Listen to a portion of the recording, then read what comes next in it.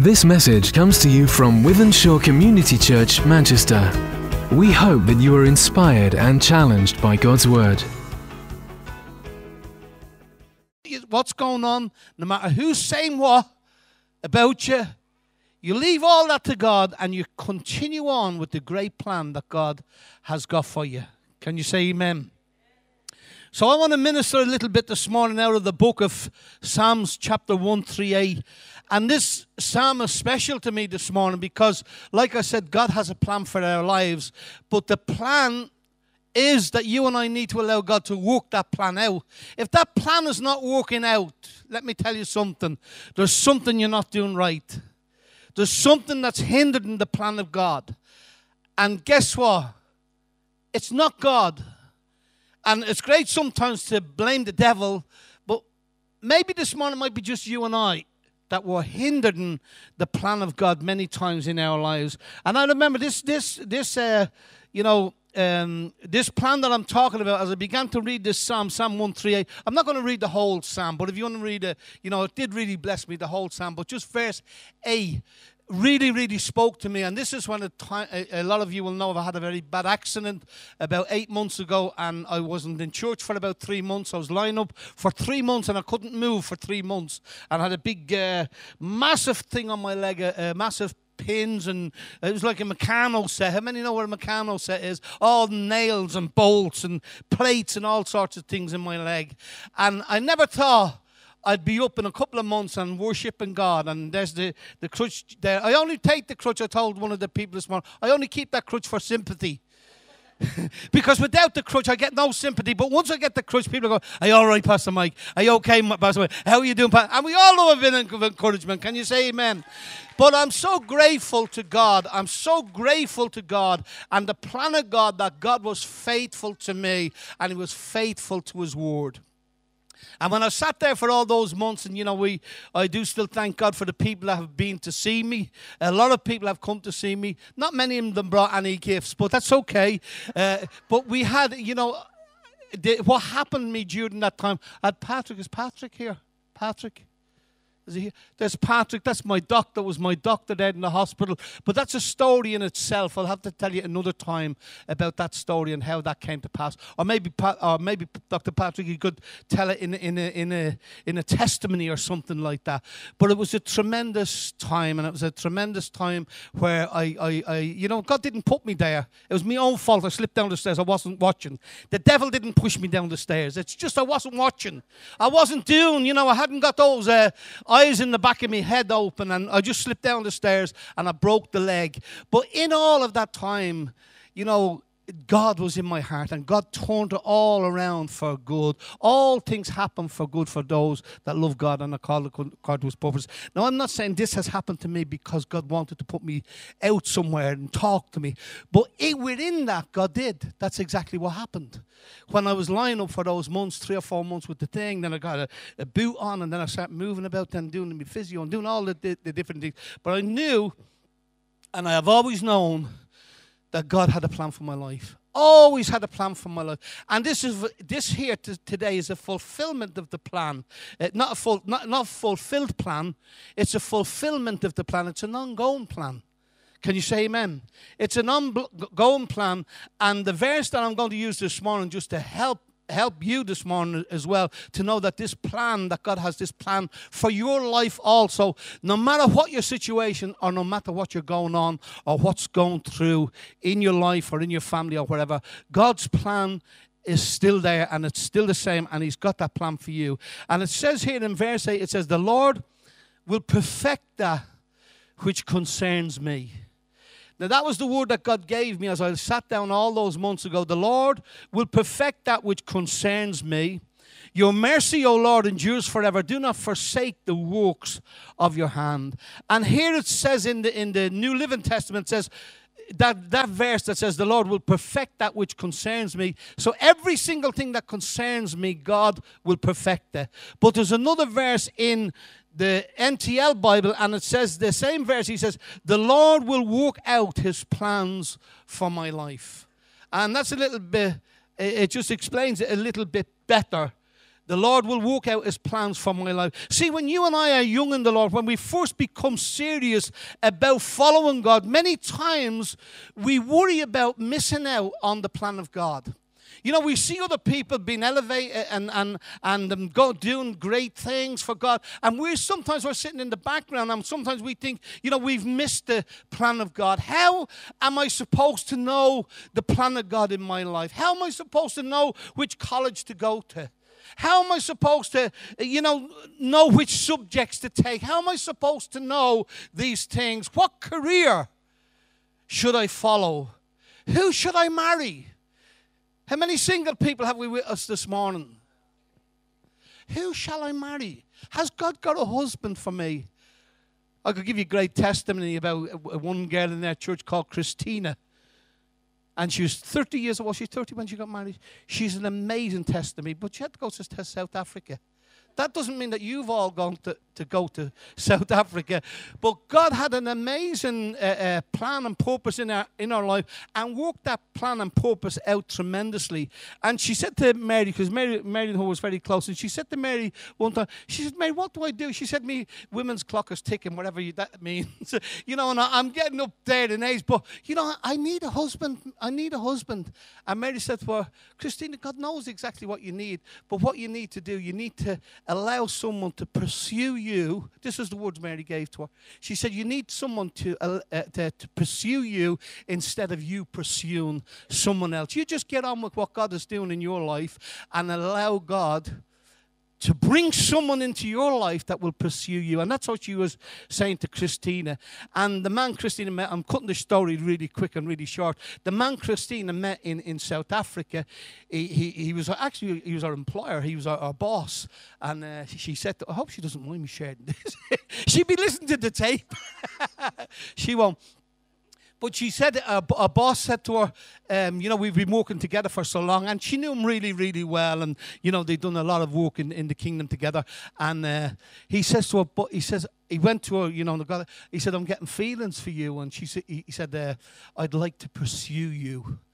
And those words just came to her. And she, uh, just quick, the Lord will perfect that which concerns me. And she, she, she knew that that was God.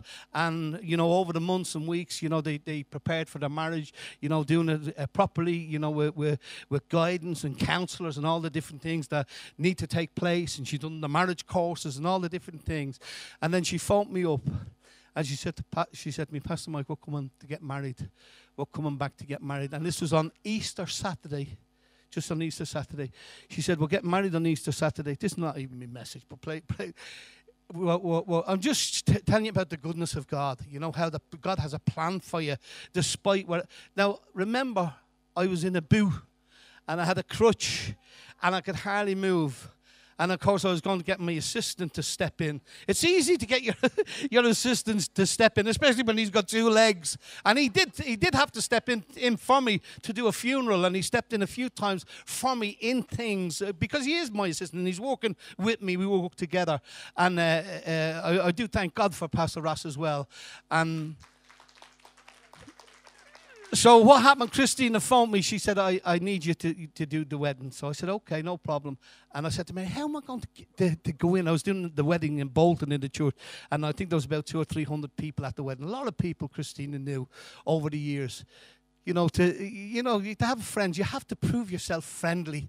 They're out there. There's people out there that love you and care about you. There's nobody should be alone. And Christina, she had lots and lots of friends, but over 300 people, two, between two and 300 people, I would say, turned up at the church there in Bolton. So of course, yours truly was here with his whistle and flew. and what I had to do, I had to force the leg of the I had to force the leg of the didn't did not I did, I did have the boot on. I had to force the leg of the trousers over the, the plastic boot because my leg was really sore at that time. And then I was hobbled up, and I think Pastor Terence was there and stuff. And a few of the guys were behind me and helping me. I mean, I know it's great to have people in the kingdom that'll help you. And these guys were there, you know, when I got up to do the, the sermon. Then when I got up to uh, got down I'm just saying to you this morning that God has a plan for your life and God is working behind the scenes. But there's many things that hinder many times the plan of God. So, enough about Christina for now. But, you know, a lot of people, you know, they, they, they think they've missed out on God and they see other people doing great and they see them doing things for God and they think, you know, Lord, you've missed me. Lord, you've missed me. I want to tell you this morning that God has not missed you. God's eye is upon you, even upon the young lad there this morning, like uh, young Elijah. You know, here's a lad, he goes home, it's his birthday, and he thinks, hey, nobody's prayed for me. I need somebody to pray. I need someone to pray for me. Um, so you know, so God sees what we're, God sees us. We're not hidden from God. And many times we've got doubt, many times in our heart, in our lives. But this entire psalm it offered me at that time, at that particular situation that I was in, it offered me comfort and assurance, and it offered me hope in God. All of the things that I was going through. It reminds me you know, this plan of God that in our lives, it reminds me that I don't have to bear the burdens uh, of making good things happen in my, in my life. See, a lot of us want good things to happen in our life, and we strive for those things. But we don't have to strive for those things. Your happiness doesn't depend upon you this morning. Your happiness doesn't depend upon me. Your happiness doesn't depend upon your husband or your wife this morning. Your, your joy or your happiness depends upon that which God is doing in your life. Nobody can make you happy. Nobody can, you know, you might think it's happiness. You might think it's happiness for a while. But I want to tell you this morning that God will, it's not just a happiness, because happiness is, is, we're waiting for something to happen to make us happy. But God can give us something instead of happiness, and that's joy.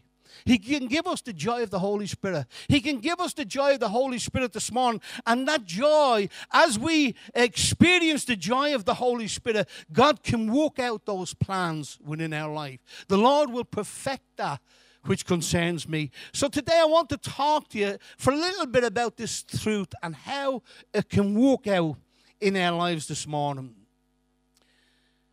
because we said the, the title of the message this morning says the, the, the plan that God wants to work out in your life. And He does want to work it out in life in our lives. But that doesn't mean that you and I are to live without ambition this morning. It doesn't mean that you and I are to live without vision or live without a sense of direction in our lives. It doesn't mean that we're to wander aimlessly through life every day, waiting day after day for God to blaze a trail for us. How many know that you and I are called? The Bible says few are chosen, but we're called. We're called by God, and sometimes that's what keeps you. That's what keeps you. That's what keeps you going. Is the call of God upon your life. The, the call upon your life, the call and knowing that God has got everything in control and there's things going on along in the background that you know nothing about. See, when I was lying there for those three months, there was things going on in the background that I didn't even know about, that God was walking out. That God was walking out. I read a. Is Emma gone into this? Yeah, she's gone. I read a book one time uh, with John Grisham. Is that anyone ever read any John Grisham's books? He's a secular writer. He's a, a, a it's not non-Christian book, but a lot of his books are. He's a Christian that writes these books. A lot of these books are like. Uh, he'll mention scripture to them and mention dip, different things. And, But this book, particular book I read, it was a novel called The Brethren. And I remember reading it. The main character in the book was a guy called Aaron Lake. And they wanted this guy to be president of the United States. But what they were doing, they knew that this guy could be president and they knew that he could be a great influence and that he could help these guys. So, what they decided to do, they decided to do everything in their power to launch this guy forward. So, he didn't have to, all he had to do was smile and stay pretty for the people. But there was something going on behind. All of these guys were campaigning be- behind. These were powerful people, and they were walking behind the scenes. They were orchestrating events to get him elected because he could serve their purpose. And this morning, you and I are called to serve a purpose. And there's somebody behind the scenes. And he's working out things that you and I don't even know. He's working out things that you and I don't even know. He's there behind, behind the scenes. See, we're not alone in charting the course of our life. Someone much more powerful than you and I is at work and that's God Himself. because it's His plan this morning. It's His plan for your life, and He's working behind the scenes. His plan, the Bible says, is a good plan. It's a good plan. Jeremiah 29 says, For I know the plans I have for you, says the Lord. They are plans for good. They're plans for good and not for disaster. Not for disaster, but to give you a hope and a future. So God has got those plans for you. God has a great plan for you, but God is committed to making that plan come to reality. But in order to do that, you and I have to do our part. See, there's a lot of people. Someone said to me yesterday about there's great potential in the world, but he said there's more potential. Was it? I think maybe you said it. Uh, uh, he said there's more potential in the graveyard because lots of people go and get buried and they never fulfill the plan or call of God for their life. So there's, there's a lot of potential in the graveyard this morning. But how many know we have great potential and God is committed to making the plan a reality in our lives. But you and I, like I said this morning, we have to do our part. We have to yield ourselves to Him so He can continue to direct our life. Now, we don't hear that word much yield. How many know what the word yield means? Anybody yield? Surrender. surrender. Yeah, it can mean surrender. Does anyone else? Hey, you've been to Ireland. She's been to Ireland because there's a triangular sign on the roadway and it says yield. And it means to give way. That's what it means. It gives gives way. And David show uh, uh, uh, here, David in the book of Psalm one three eight, he shows us three qualities that you and I need to strive for in yielding our hearts and yielding our lives to God. We need to develop these qualities in our lives so we can move, so we can be more certain and claim that promise that God has made. See, God has made that promise to each one of us. He says that the Lord will work out his plans in my life.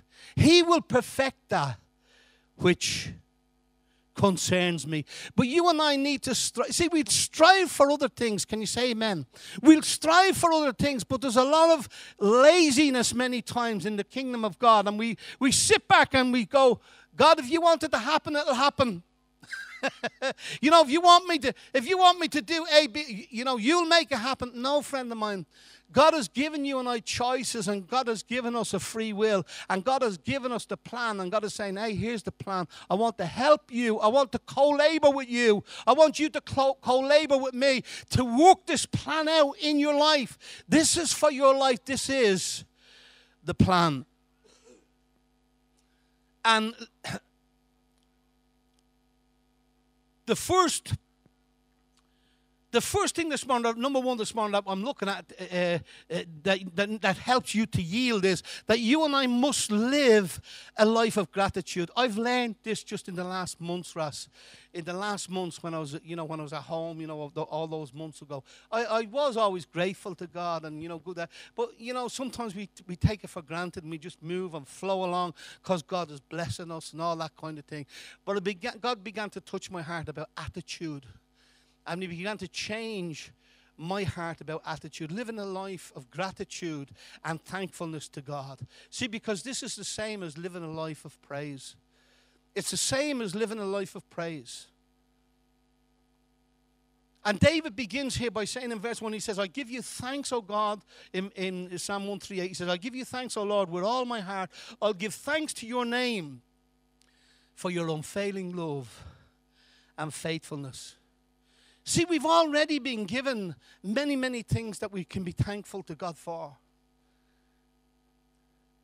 And if God did never done another thing for you and I, if He never done another thing for you and I, we could spend the rest of our life giving Him thanks and praising Him for what He's already done. Where He's already brought us from. We already have so much to be thankful for. Can you say amen? But the sad thing is, many times we've got no gratitude, we've got no thankfulness, many times. Many times we've got a wrong attitude towards things.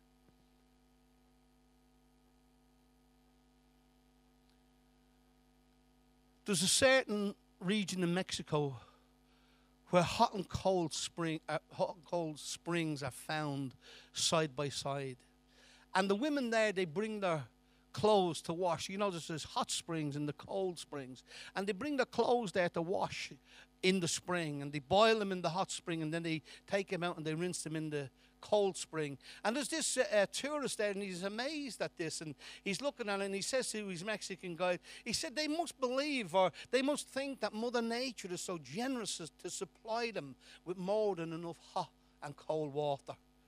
And he said, It's funny you should say that, the guide said. He said, Because there's actually a lot of grumbling goes on because Mother Nature forgot to supply the soap. And do you know, do you know, do you know sometimes, do you know sometimes we're like that? you know, sometimes that's, that's the way we are. Sometimes we just don't see or we don't realize the opportunities to give thanks for. Sometimes, you know, doors of opportunities open up, but we fail to walk through them. Do you know when anyone asks me to do anything in ministry, it doesn't matter who they are. One thing I never say, I never say I'll pray about it. I never say I'm too busy or I never say no because I know that God has a plan for my life and I gave my life to Him all of those years ago. And when something comes up and an opportunity comes up and a door opens and somebody asks me to do something, I'll always do it. I look at my wife on confirmation, but she's not shaking her head. But she knows, she knows that I'll do it. She knows that I'll do it. Because you don't know what that opportunity is going to open up for you and your plan and the plan that God has got for your life. See, David, he gives thanks. He says in verse 2, he says, For God's unfailing love, God's faithfulness in the fact that God promises, God's promises are backed by his honor. So, in other words, God is going to bring people into your life and open up opportunities to you. And you're going to have to make sure that you decide which opportunity that you're going to. That's why some of us are still sitting here after 60 or 70 years. We've missed the opportunity. We've missed the plan many times. We've missed the plan many times. See, in verse 3, he goes on to say, As soon as I pray, you answer me. So you don't have to spend, spend 24 hours in prayer all night praying and all night fasting, and they're good. If you want to do that, that's great. But see, when I read the Bible, it says that God answers me straight away. That doesn't mean I don't have to spend time with God because it is good to spend time with God. But you and I need to know that when we call upon Him, He will answer us. He said, If you ask anything in my name, I'll give it to you. If you ask anything in the name, of either that's true or God is a liar. See, he's walking in the background, but you and I are waiting for the to see the prayer. We're waiting to see the thing happening, but it doesn't always. You know what was that that that, that, that sermon? Uh, uh, it's Friday night, but Sunday is coming. It doesn't always happen on the Friday. It doesn't always happen on, happen on the Friday. Sometimes there's a, there's a waiting period or, or there's something that God is doing be, eh, behind the scenes. But you and I can, st- can still continue to thank God. We can still continue to thank Him for the things that He's done for us. Can you say amen? Where would you and I be without God this morning? Where would we be without Him? There's many, many things that we can thank God for. We can thank God for every single detail in our lives, every single thing that God is involved in in our lives. And here's a little ex- uh, exercise for you that you can put into practice. And it really helps because sometimes we sit down and we trying to thank God for something. We think, I can't remember anything. What, what can I thank Him for? See, we can thank God for every single thing that comes into our lives. We can thank God for every person that comes into our lives. We can thank Him when we wake up in the morning.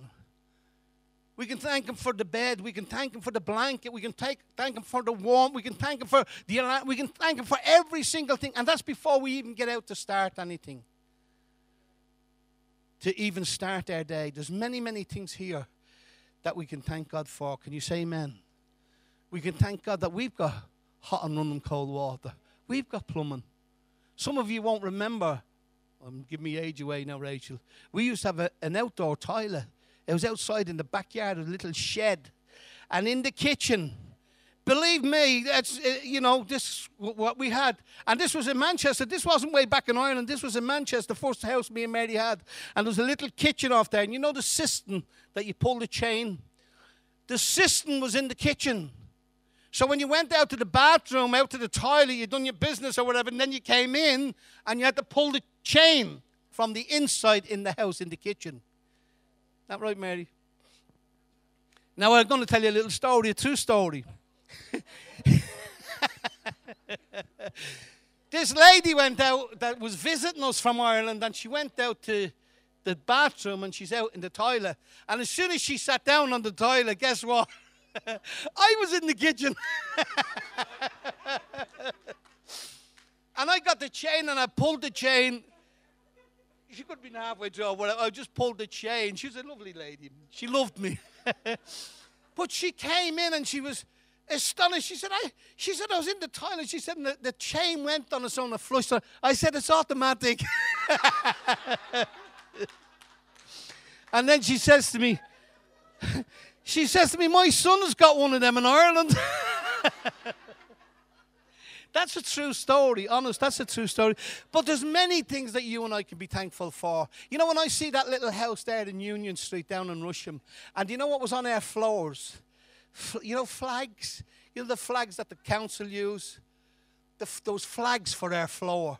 I mean, you, you put a bit of lino down because it's a little bit cold for the kids, you couldn't have them running along on the flags. They'd catch their little fingers in the flags or be able to pick out the rubbish in the flag. But we used to put some lino down then. It wasn't cushion floor, it wasn't tiles or anything like that.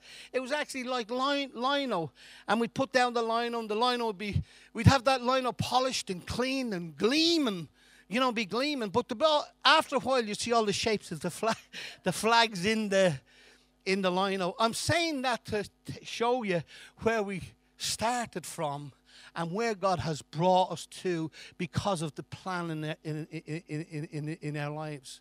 Because he had that plan for our lives. And he took us from that little house, one pound fifty a week, down in down in Rusholme, and from that, God has been walking in our lives. But we didn't realize He was walking behind the scenes, Ras. We were blind to all that because we weren't saved. We were in darkness. We didn't know about God. We knew about the church and all that kind of thing, and we knew about different, but we never knew God. We knew Jesus, but we never really knew about Him. We knew about Christmas and Easter and funerals and christenings and all of those. We knew about all. We knew about them all but we never had a personal relationship. We didn't know Him intimately. We didn't know that He wanted to come into our hearts and come into our lives and to be a part of our life and work a plan out in our life that, stop, that would stop us messing our lives up. And we did mess our lives up. And we had to get divorced. And we were divorced for over three years. And then, by the glory of God, I got saved. God opened my eyes. He switched on the light and I got saved. I got born again. And God changed me. The plan started to work out in my life.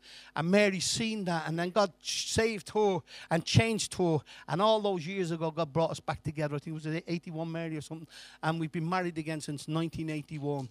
And I'm saying this to I'm saying this to say to you this morning that we never realized or knew about the plan. But the plan was always there. And God brought us together, and God, uh, uh brought us, you know, was living in that little house in Union Street there. But God has brought us all over the world preaching the gospel, sharing our testimony, testimony about the great things that God can do. See, from one generation to another, we need to share His goodness. And we're always talking about what God has done. It doesn't matter who they are. Uh, you know, I'm with Mary sometimes, uh, you know, on the Civic or whatever, and she'd always get someone to talk to, and she'd be talking to them about the plan of God, how God saved us, how we were divorced, how God's got a plan for you, how God can help you in your life. And I'm saying that to you this morning that we're missing out because we fail to enter into that which God has for us. Amen? Every good and perfect gift comes from Him. See, when our lives are defined by thankfulness, we're able to keep ourselves in the place that God can walk in us. See, we know that this is not down to us. When I seen these guys get, when I seen these guys getting up here this morning, Rachel with all her fancy drones and all that kind of thing, and then praise God, grace God, and then Ras getting up and he's doing, you know, whatever. When I came in, there was nobody. This place, it was, it was quiet. It was quiet. There was no kids or anything like that. But then we seen the plan of God because God has a, a work for this estate. This is one of the biggest housing estates in Europe. It's one of the biggest, except we've got one in Dublin bigger. But that only means we've got more work because there's more people in darkness. But here in Wythenshawe is one of the darkest, is one of the darkest, uh, uh, um, what do you call it?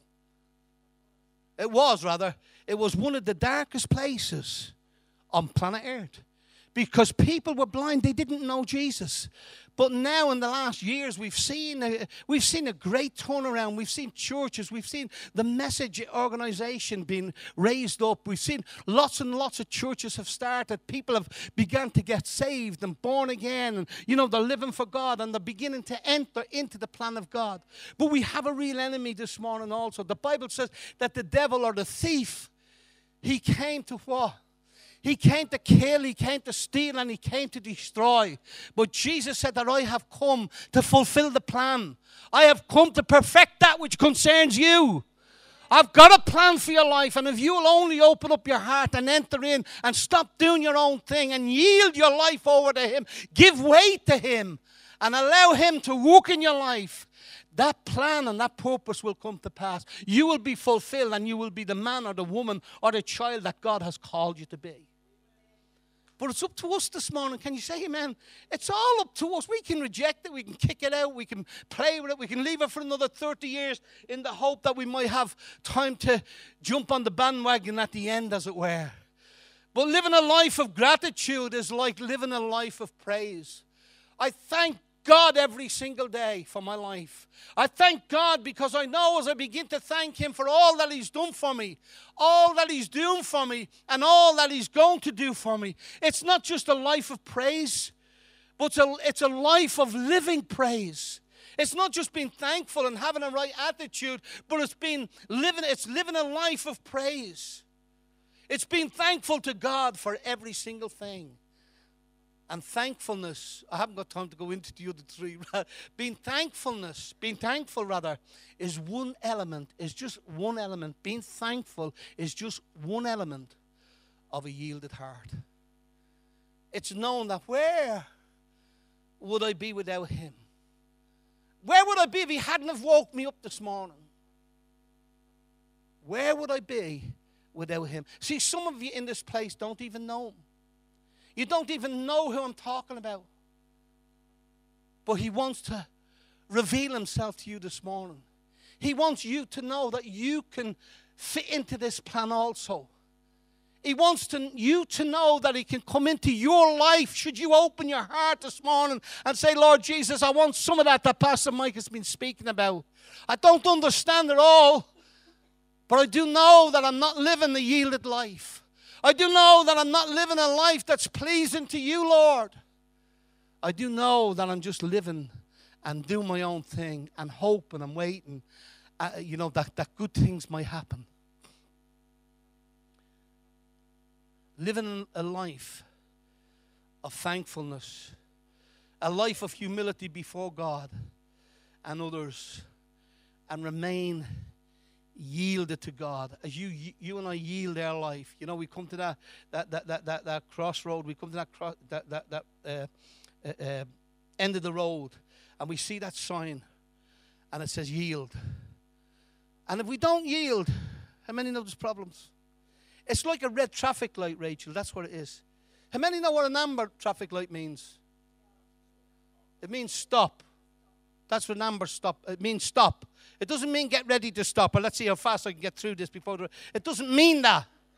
But that's what we do with our lives. We take silly chances and we take chances without God and hoping we can get through the amber light, hoping we can get through, through the red light. But God is saying to you this morning yield, wait. He's saying stop. There's a plan there's a purpose for your life. And if you open up your heart and open up your life and invite me to come into your life and into your heart, I will help you to fulfill that purpose in your life. I will give you satisfaction. I will give you joy. I will give you strength. I will give you encouragement. That's what. Uh, uh, uh, what's his name was saying? David was saying that God, he said, gives me strength and gives me encouragement. I'm encouraged this morning when I see what's going on in that place. When I see all them little kids toddling out there, out to the, the, the, the Sunday school. When I see all the things with Pastor Ross and, and um, Mills, the, all the things that they're doing, and Pastor Terence and, and, and Portia, and Fabian and his wife, Jaya. And all you guys as well that are involved in ministry. When I look at Pastor, uh, when I look at um, my friend Dr. Patrick, when I, when I look at Patrick, I said to him when he came to this place, I'll, th- I'll sort of close on this, Raz. I will close on this. I won't sort of close on I'll close on this. When he came into this place, and I said, Patrick, I said, what are you here for? And I thought he was a Nigerian bishop. Because I've met loads of Nigerian bishops or Nigerian. And, I thought, and he said, I said, Patrick, I said, what have you come here for? And he said, Pastor Mike, he said, I've come here for you. I've come here to pray for you what's really needed then. and I thought, well, you know, I never, never give another bat in another eyelid. But a couple of months down the line, what happened to me? I broke my leg really bad. And when I was in the hospital, a month or two before Dr. Patrick got a job in the hospital, the same hospital that I was going into. So when I went into the hospital, seven o'clock in the morning, I'm in the bed in the little thing. And have you seen the size? Stand up, Patrick. Stand up, Patrick. Patrick, stand up. I thank God for Patrick. I thank God for him. You sit down now. But if you see the size of pa- pa- uh, uh, Patrick, when he walked on my door at seven o'clock in the morning in the hospital, I'm in this little room on my own, and I looked down and I thought, ah! You're not expecting somebody to come. You're not expecting God to send somebody. God was already working behind the scenes. And Patrick come in and he said, he said, Pastor Mike, I'm here and I'm giving you this book. And it was a little book on spiritual warfare. And he said, what you need to do, you need to read this little book every, every day. And it will help you all the time that you're in hospital. And right through the time I was in hospital, I was in hospital, I think it was over three weeks, was it Patrick, something like that. And all that time I seen uh, uh, Patrick every single day, and he was in the hospital for me, praying for me. When they went to, to, to decide about me, me leg, my leg, when they went to decide about the work that they were going to do on the leg, what they done, they were in a room and they were deciding that they were going to cut off the limb. And Patrick sat behind and he said, You're not taking off my pastor's leg. And he began to pray, and he began to pray, and they changed the thing, and he showed me all the, the stuff and everything else. But I'm cutting this short because it's Patrick's testimony. But they, they, they showed the leg, and, and Patrick praying, and God bringing him into my life, and this is how I'm walking today. All because, all because of the plan all because of the plan. I can walk, mostly I can walk without the crutch. I still lean on it a little, little, bit. But I just want to say, Patrick, I just want to to honor you this morning, brother. And I want to thank you for coming to this place. And I want to thank you for praying for me. Hallelujah. The plan of God, the plan of God, but only as we open our hearts and open our lives up to Him. Stop living for yourself this morning because one day you're not going to be able to live for yourself. You're going to be too old. You know, so serve God, the Bible says, in the days of our youth. Serve Him and give Him your life while you've got some strength to do the things that need to be done. Don't wait till you're old. See, people think God is for old people. I wasn't old at 28. I was still a young man, a very, very young man, but I led a very, very bad life. But when God came into my life at 28 years of age, I didn't know about the plan, Ross. I didn't know about walking behind the scenes. But as I as I, I am grateful and thankful every single day, I see that plan coming to pass, and I know He's not finished. I know the plan is uh, uh, because He loves me. Not that, not that, not that you might think, well, you're nothing special. God thinks I'm special. He thinks I'm very, very special this morning. And you're very, very special this morning also. You're very, very special in His sight. And He wants you no more to serve that enemy and allow Him to dictate things to your life. He wants you to step into the plan of God this morning. And He wants to help you to live for Him. Is there anyone in the, this place this morning? Is there anyone in this place this morning that wants to say, Lord Jesus, I want to try this? I want to try what Pastor Mike was talking about. I want Jesus to come into my life and I want them to be a part of my life. I'll pray for you. I'll pray for you if that's what you want. But if you don't want that, that's okay because it's no skin off my nose. Do you know what I'm saying? I've delivered the message to you, Sian. I've delivered, you know, as best as I could. But now it's up to you. It's up to you and I to either say yay or nay. Yes, I will accept that. Yes, i have listened to some of the things that Pastor Mike said. I listened to some of them this morning. But I know that I need God. I know I need to yield my life to God. I need to give way to Him. Is that you this morning? Hallelujah. Is that you this morning? Hallelujah. Please, please, please don't go out this place this morning. Don't go out this place this morning and say, hey, I've heard a good message. I was really moved. I was really touched this morning by some of the stories that Pastor Mike told me. I want to tell you the presence of God is here in this place right now, the Bible says that where two or three gather together, that Jesus is in their midst. And what you're feeling there this morning is not just emotion, what you're feeling is the Spirit of God. And God is touching your heartstrings right now by His power because He's got a place for you in His kingdom. Don't deny the Lord this morning. Don't keep outside that place. Step in this morning and say, hey, I want I don't understand it all. I don't who's going to show me? Who's going to help me? We'll show you. We'll help you to live for Jesus. If you don't know how to do it, you don't know how to get, you know, every one of us needs to help at, with the first step. And we'll help you this morning. And if you want, to, only if you want us to help you. If you want us to help you. Let's bow our heads this morning. Let's begin to, just begin to pray right now. Let's begin to pray just now. All the children as well. We've got some children back in here. Elijah, we've got some children back in here now. And they're going to be praying. We're going to be praying with them right now. Hallelujah. We're going to be praying with you right now. Hallelujah. Thank you, Jesus. Begin to reflect on some of those things that I've spoke about right now. Begin to reflect upon them. I know the plans I have for you, said the Lord. Good plans, plans to give you hope and plans to give you a future. Thank you, Lord Jesus. Thank you, Father, for that wonderful plan that you've got for each one of us in this place. Lord, I just pray for them that don't know you, Lord. Or, Father, they might be even here struggling with their faith this morning. I pray, God, that you will touch them, that you will help them, Lord, that you will be all that they need to be. I pray, God, that you will cause them to respond if you're a bit embarrassed to respond this morning, a bit embarrassed to say, hey, that was me, please talk to me after the service or talk to Pastor Ross or Belinda or one of the guys.